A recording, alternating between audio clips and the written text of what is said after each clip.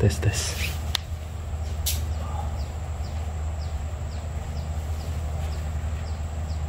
Ah, coba ada ada perubahan yang yang selama ini mengganggu dok.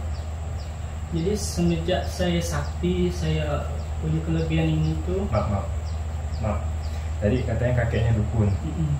dulu tuh ngerasa sakti itu umur berapa Pas tamat SMA itu umur 19 tahun. 19 Mm. sebelumnya enggak Enggak normal aja. kakek meninggal kapan Saya nggak tahu dok, soalnya kan itu kakek udah meninggal belum udah. udah meninggal Mm. Dan orang tua saya itu juga udah meninggal. Lalu saya ini tinggal di sini nih sama orang tua angkat saya. di Pontianak nih Mm-mm, di rumah ini sekarang ini. jadi pertama kali ngerasa sakti itu Mm-mm. bisa ngeliat ke atau tiba-tiba ada bisikan terus ngobatin orang ke atau gimana Uh, tiba-tiba itu awalnya lewat mimpi Ah, dan mimpi mimpi itu didatangin sosok kakek-kakek sosok kakek tapi wujudnya itu seperti Pak Haji, Pak Kiai gitu berpakaian kayak orang Islam itu Mm-mm. tapi awalnya saya kan tidak berpikir yang negatif kan Hmm. pikirnya baik-baik tapi setelah menjalani indigo-indigonya bentar, bentar. langsung kayak kebuka pikiran saya pikir ini kayaknya jin yang menjelma gitu Oke, jadi waktu itu awalnya mimpi ketemu kakek itu wujud kakek kan? iya kakek Kakek yang meninggal itu? Bukan kakek saya sih Oh kakek-kakek, Mm-mm. orang tua. orang tua Lalu di mimpi itu dia ngapa? dia berikan sebuah cincin gitu. dia ngasih mood itu ya, Nah, tapi cincin itu saya pakai pula Dalam mimpi itu? Hmm. terus dipakai. Setelah mimpi itu besoknya apa yang terjadi? Ingat? Besoknya masih belum, belum. Setelah seminggu kemudian tuh barulah kerasa kayak ngeliat makhluk halus. Oh, ada sakit dulu nggak? Nggak ada. Ya, Prosesnya itu nggak ada. Prosesnya lancar-lancar aja gitu tuh. Ya, ya nggak disadari ya. Mm-mm, Dan nggak langsung kan dari mimpi itu Mm-mm. ada jeda seminggu. Mm-mm.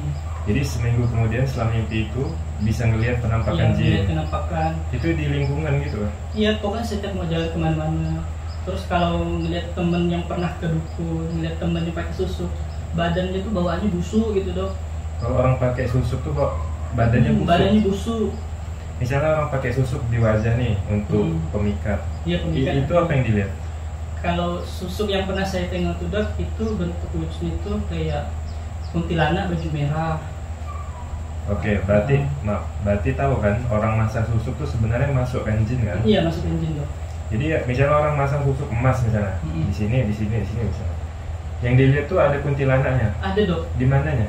di sebelah uh, wajah yang buruknya tuh misalnya dimasang sebelah sini berarti sebelah sini kuntilanaknya berada itu Oh, kalau dia pasang sini, yang dilihat sih Ah, wajahnya iya. buruk, Ah, buruk sebelah buruk sebelah. hmm, Terus kuntil, busuk gitu kuntilanaknya sebelahnya. Mm-mm. imbasnya tuh dia tuh seperti angin gitu dok kelibat kelibat muncul hilang muncul hilang Oh, gitu hilang. ah iya gitu Oh, Jadi- bukan cuman ada terus gitu. bukan enggak kayak gitu dia Oh. oh, itu yang dilihat tuh ya. ah iya Kalau orang pasang susuk. Mm-mm. Kalau orang punya kodam, kalau orang punya kodam tuh dia tiba-tiba dia jinnya itu tahu kalau kita indigo kita nengok dia kalau kita mau dia pandai ngetes kita nih dok Hmm, tiba-tiba ah, kalau ilmu dia kuat kita nih lemah keserap gitu tapi kita tahu di badan itu kayak ada benda-benda apa sih pusaka. pak ya pusaka ada yang kayak semar kecil gitu Ya, yang semar Nah, kecil. terus ada yang sabuk nih dok Hmm. sabuk yang untuk kalau diikat tuh jadi kayak dia sendiri kebal, gitu Kebal. badannya ya. Terus dia ada wujud kodamnya kadang-kadang nimbul kodamnya kodamnya kadang ah, kadang ganteng kadang berupa pakaian Jawa kadang berpakaian orang Daya orang Dia kayak manusia gitu ya? iya kayak manusia dok Mukanya kayak manusia. kalau mukanya kodam manusia dok Dia tuh di mana? Depan, belakang, samping, di mana? tergantung barang itu kalau dia di kaki dia biasanya muncul lewat paha keluar Oh, tergantung Hmm. pusakanya Iya. ditanam di mana. dia keluarnya seperti aura dok misal Oh. auranya abu-abu gitu kan. Jinnya ini baik misalnya. Kalau jinnya baik tuh auranya tiba-tiba tuh kadang kuning kadang berubah jadi hijau gitu. Tapi dia menyakitin situannya. Kalau situan ini udah nggak mau make dia lagi gitu. Kenapa? kayak dia ngerasa dicampain ya gitu. Sama seperti saya nih. Saya kan buang kodam saya nih. Berobat sana sini. Pernah dirukia juga sama orang nah tapi nggak mesti pandang cuman hati saya tuh komunikasi terus gitu Dengan si kodamnya nih. Ah, tapi Tahu nggak kodamnya siapa? ke sana. Pernah nggak lihat dia? pernah dalam mimpi tapi bukan manusia dok wujudnya itu seperti gorila kepalanya muncung ini mulutnya keluar lendir-lendir di mulutnya gitu Kayak monster gitu. Heeh.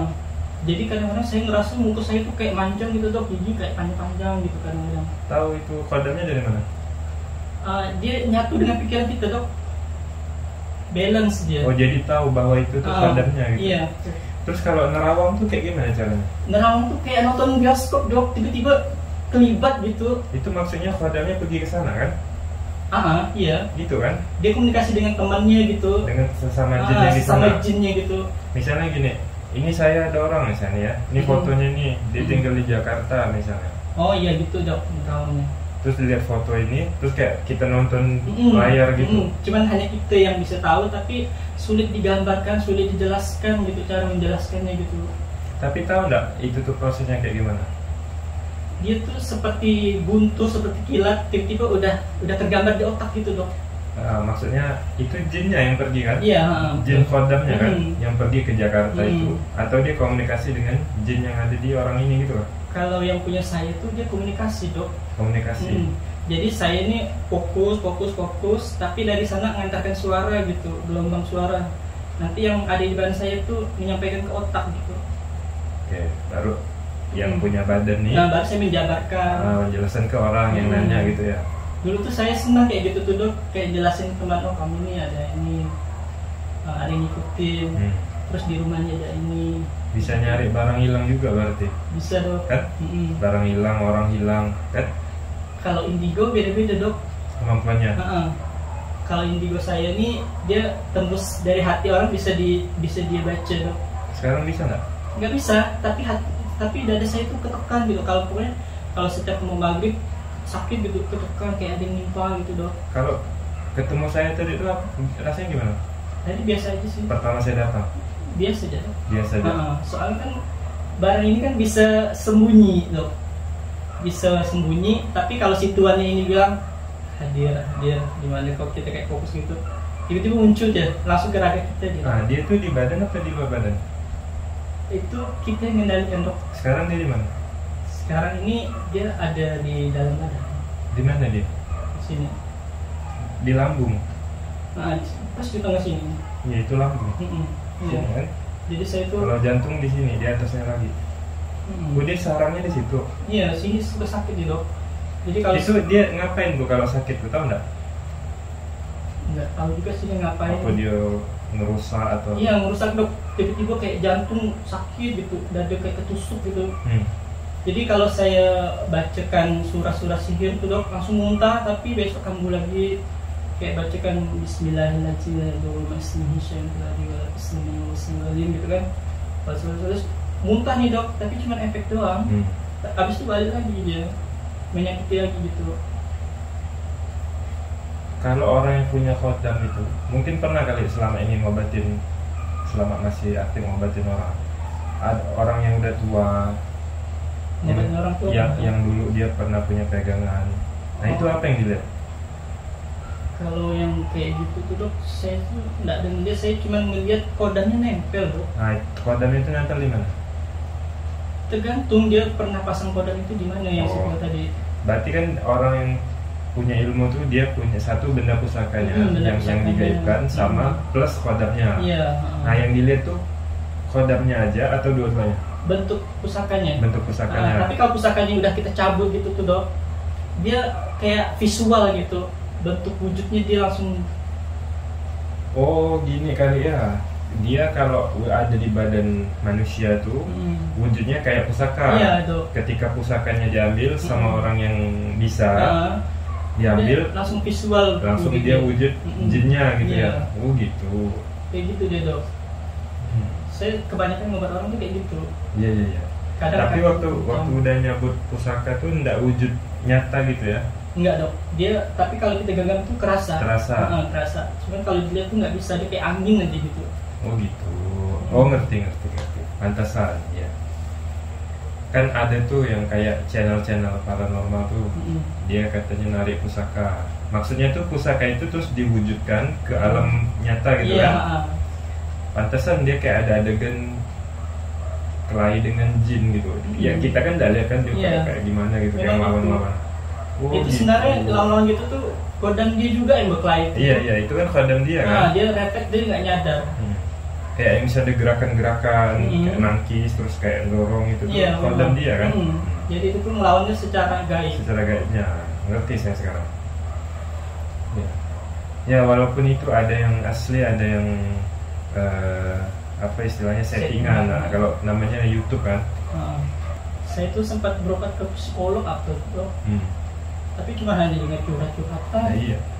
Kan dia nggak udah- nggak percaya gitu Oh dia nggak percaya ya Ah. tentang kodam Uh, tentang ini. saya tuh hampir sempat stres loh dok awalnya saya pengen berubah pengen sembuh tuh saya tuh ngerasa capek dua pengen normal kayak dulu lagi Hmm. nah terus ketiga hati saya tuh kayak kebuka Hmm. jadi jangan bangnya kayak gitu sebenarnya itu itu tuh sakit Iya. diganggu gitu Iya. jadi ah, dari situ lah saya tahu tuh Hmm. ternyata ini gangguan Iya. Jadi balik maaf yang orang tua punya khodam itu Mm-mm.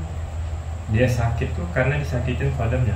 iya dok kayak gitu Kayak gitu ya. Nah, saya pun gini ya dok Iya sekarang ya. Ah, ah, karena dia Karena tahu membuang ya? ah, terus dia kan pernah nanya kenapa kamu nggak pernah ngobat-ngobat orang lagi kata dia Hmm. terus saya pun kadang-kadang kalau ngobatin orang tuh pilih-pilih dok ini bukan tandingan saya nih Hmm. nggak mampu nanti dari saya mana?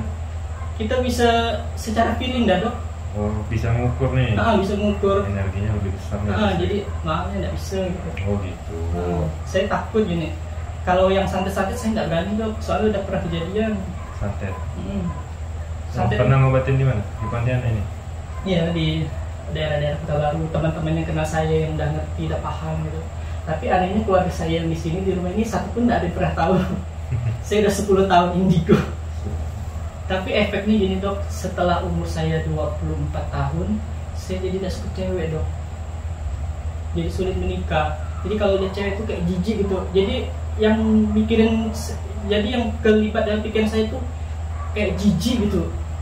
Tapi Iya. setelah saya normal tuh ya Allah kapan saya punya jodoh ya Allah. Nah berdoanya tuh normal gitu dok. Hmm. tapi ketika kambuh nih kalau lagi gangguan gangguan ini nggak suka sama cewek gitu dok Itu Tapi, maksudnya waktu dia ngambil alih gitu ya, ngambil alih. pikiran si khodamnya dia. ah, dalam mimpi saya disetubuhi wujud cowok gitu Oke, oke. Ini tahu nggak dia nih kalau di badan wujud pusakanya apa? Nah, kalau ini pusakanya sih enggak nih dok ini wujudnya tuh kayak siluman aja gitu dia Kayak siluman aja. Hmm. Karena waktu dia muncul pun wujud kayak gitu ya, Hmm. binatang gitu. Iya, waktu dalam mimpi bersetubuh terus dia wujud seperti pria normal gitu Sekarang apa yang dirasakan? Hmm, agak rileks sih sekarang yang tadi tuh kuat sekali energinya dok Gitu. Coba kita tes lagi. dari suara aumannya dia udah lain dok Apa tuh? yang tadi tuh oh, gitu Oh. siluman dia Dia dari dari hulu ya. yang saya daerah Entikong dok balik Enggak makhluk ini nih. Dari sana juga.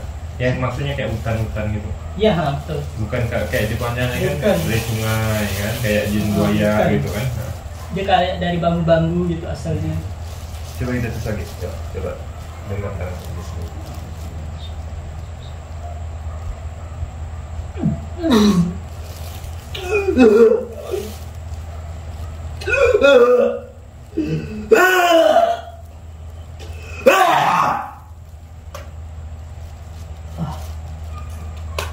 Ini megang tangan saya ini rasanya mual.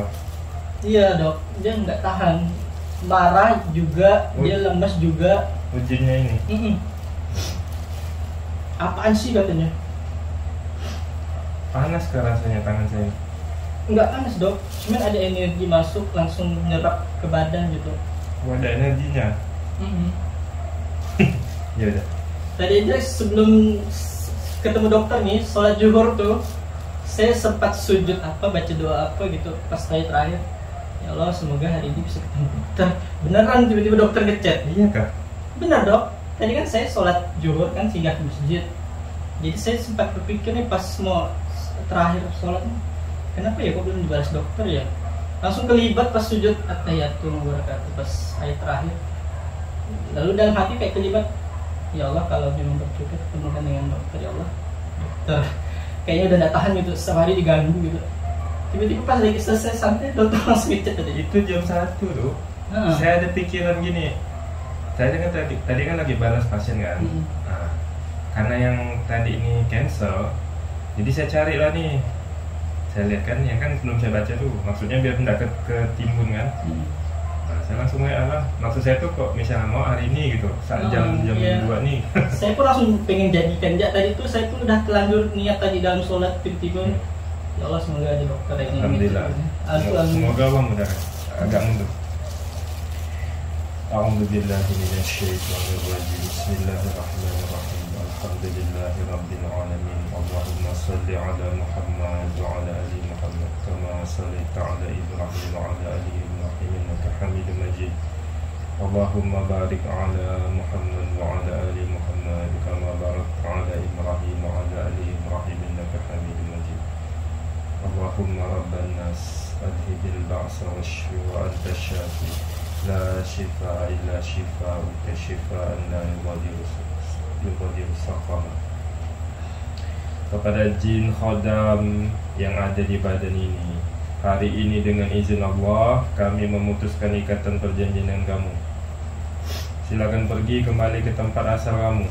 Tidak usah lagi mengikuti anak ini Dan tidak usah lagi Dan tidak usah juga turun ke anak cucunya nanti.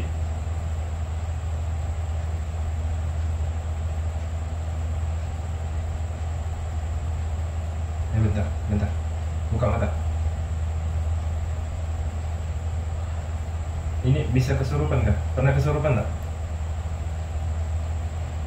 Iya, antara dua antara satu yang enggak Ini nih Ya. Kalau memang bisa komunikasi ya Kamu bisa komunikasi dengan saya? Tidak mau Saya mau ngajak kamu masuk Islam Sebelum kamu pergi dengan izin Allah Ayo kita batalkan perjanjian kamu dulu insya Allah أعوذ بالله من الشيطان الرجيم. وأنه كان رجال من الإنس يعودون برجال من الجن فزادوهم رهقا. إن الشيطان لكم عدو فاتخذوه عدوا. إنما يدعو حزبه ليكون من أصحاب السعير. براءة من الله ورسوله إلى الذين عاهدتم من المشركين. قل إن صلاتي ونسكي ومحياي ومماتي لله رب العالمين. لا شريك له وبذلك أمرت وأنا المسلمين. براءة من الله ورسوله. إلى الذين عاهدت من المشركين براءة من الله ورسوله. إلى الذين عاهدت من المشركين براءة من الله ورسوله. إلى الذين عاهدت من المشركين براءة من الله ورسوله. إلى الذين عاهدت من المشركين براءة من الله ورسوله. إلى الذين عاهدت من المشركين براءة من الله ورسوله إلى الذين عاهدت من المشركين. براءة من الله ورسوله إلى الذين عاهدت من المشركين. براءة من الله ورسوله إلى الذين عاهدت من المشركين. إن الدين عند الله الإسلام. إن الدين عند الله الإسلام. إن الدين عند الله الإسلام. Ayo ikut saya masuk Islam. Mau terima Islam? Oke, ayo kita ucapkan syahadat. Ikuti saya. Ashadu Alla Ilaha Illallah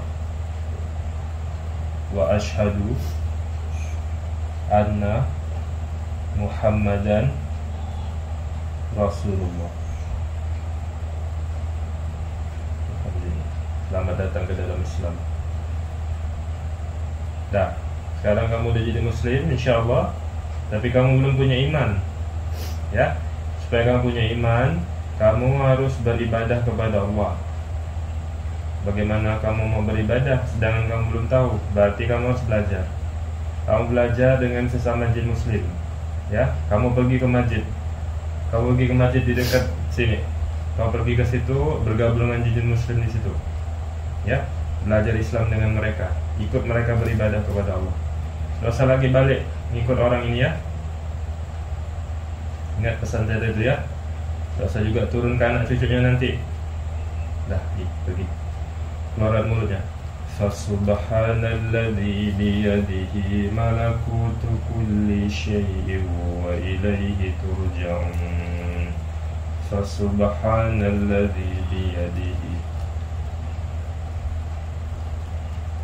kayak ada udara di kepala luar nggak tahu siapa tadi tapi kayak gitu aja kayak gini Hmm.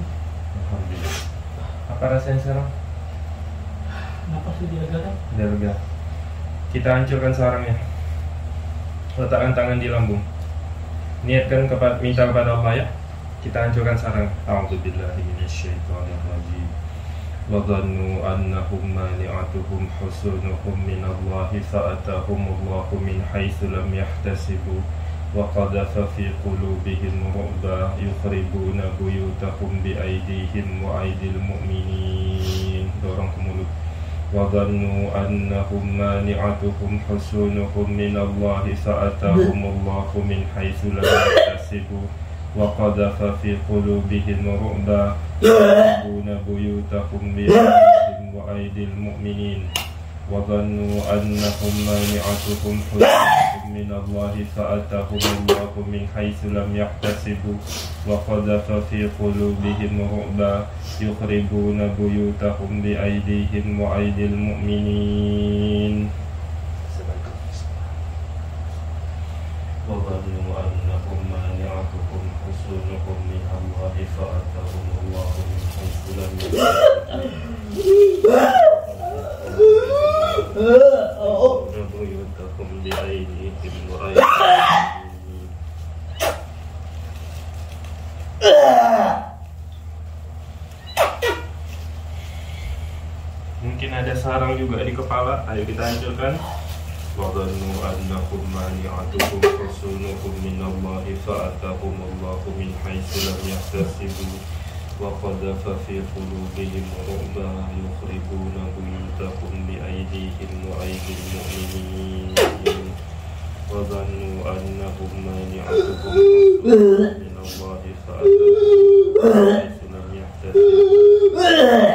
وقذف في قلوبهم رعبا يخربون بيوتهم بأيديهم وأيدي المؤمنين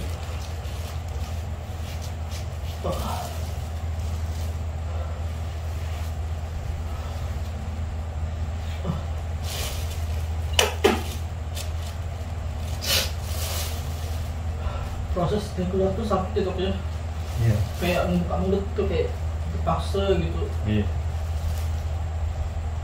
Ringan dah. Ringan. ringan tidak براءة من الله ورسوله إلى الذين من المشركين براءة من الله ورسوله إلى الذين من المشركين براءة من الله ورسوله إلى الذين من المشركين براءة من الله ورسوله إلى الذين من المشركين براءة من الله ورسوله إلى الذين عاهدتم من المشركين. براءة من الله ورسوله إلى الذين عاهدتم من المشركين. براءة من الله ورسوله إلى الذين عاهدتم من المشركين. براءة من الله ورسوله إلى الذين عاهدتم من المشركين.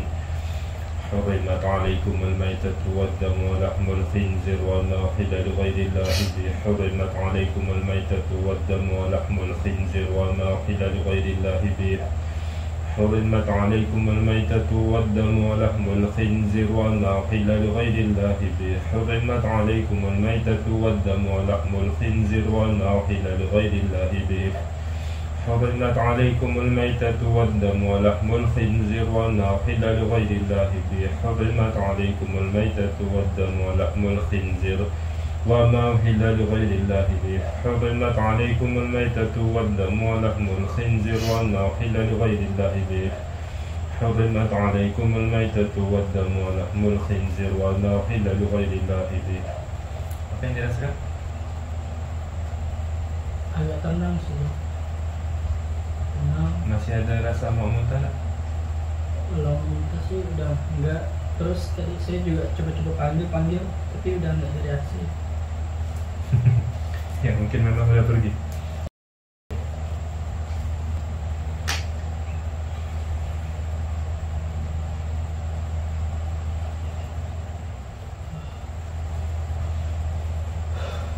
Pernah nggak sih selama ini ngajak khodamnya masuk Islam? nggak pernah Komunikasi gitu? saya nggak pernah komunikasi yang kayak gitu dok nggak pernah kepikiran juga Hmm. Sering nggak lihat video YouTube saya? sering dok Kalau lihat video YouTube saya tuh apa yang dia bilang? kalau yang saya tuh lihat lihat eh, apa dokter yang rukia rukia ya dok Nah, apa kata dia? Gak usah nonton. kayak malas gitu ini sih sama aja dengan kau ini kata dia berapa nih yang itu katanya Kata dia. Mm. Sama tuh maksudnya. kau pun bisa gak kayak ini gitu Oh. tapi perasaan tapi hati saya itu tetap teguh pengen nonton gitu Hmm. rasa bosan tuh saya lawan lawan lawan gitu mau manggil dokter itu sebenarnya tuh banyak pertimbangan yang bertimpa-timpa gitu tapi saya lawan lawan lawan terus gitu soalnya saya pernah manggil perukia cuma tidak ada sereaksi dokter gitu Sebelum saya sebelumnya ada tapi tidak bereaksi apa apa jadi tukang rukianya oh cuma sakit biasa kata dia cerita nggak tentang ini? saya ceritain juga Apa apa eh, respon dia? Pendapat dia? kayak ini ngomongnya kayak orang berceramah bertobat ya kata dia ini ini kan saya tidak butuh yang kayak gitu Ya, iya, bukan itu yang dibutuhkan Oh. saat ini. jadi tuh sebenarnya tuh dari diri saya sendiri pun dok bisa mengukur kemampuan si perka itu Hmm. makanya manggil dokter tuh saya tuh banyak pertimbangan awal-awalnya tuh dok Banyak rintangannya kan? Mm-mm. Ya dihalang-halang gitu. Iya, dari awal dokter buka channel YouTube tuh saya udah tahu, cuman udah setahun lebih baru saya berani manggil dokter gitu. Iya kan? Iya, saya tuh nonton terus gitu kan. Nanti kalau udah parah bener nih, kalau udah bandel bener nih katanya. Jadi saya pikir gitu kan, selama saya masih aman-aman ya, saya masih pantengin dia terus gitu, YouTube dokter nih. Sekarang saya udah benar-benar pengen ngelepasin, saya udah nggak mau kayak gitu, capek, sakit gitu. Dan dia pun melarang menikah gitu. Iya, itulah efeknya tuh. Sama kayak orang kalau ini kan sadar kan? Mm. Kan sebagian orang tuh dia nggak sadar. Dia bilang dia belajar ilmu kebal Mm. waktu di SMP. Nah, udah Kalau saya alami dok. Iya. Dia nggak tahu bahwa ilmu kebal itu maksudnya itu jin gitu bang. Iya. Si khodam kan Hmm. yang ada di badannya. Khodamnya itu kan pengen menguasai dia. Mm. Termasuklah dia dihalangi menikah. Dia tuh nggak nyadar kalau itu tuh efek khodamnya gitu bang. Memang iya dok. Hmm. Kalau saya tuh nyadar sekali Iya. semenjak saya nyadar tuh saya dalam sebulan bisa hatam Al-Quran dua kali biasanya dok. Awal-awal saya pengen hijrah tuh dok. Jadi tuh keinginan saya tuh jadi lebih kuat ketimbang bisikannya dia nih.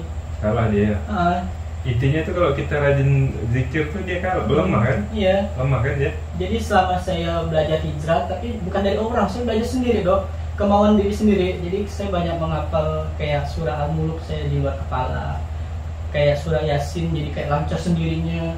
Terus surah-surah aku gitu, jadi semua banyak yang saya hafal secara tidak langsung. Karena saking pengennya berubah, berubah, berubah, tapi saya tetap diserang terus gitu. Dia malah nyakitin ya. Nah, menyakitin. Kalau kita mau ngelepas dia, dia malah nyakitin Mm-mm. kita. Udah deh positif nih, manggil dokter aja gitu. Iya tadi, ya itulah ya semuanya karena Allah. ya.